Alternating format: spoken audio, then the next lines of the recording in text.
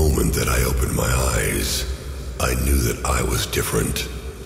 I knew that I was born to be special. We are the army, and hardcore is our weapon.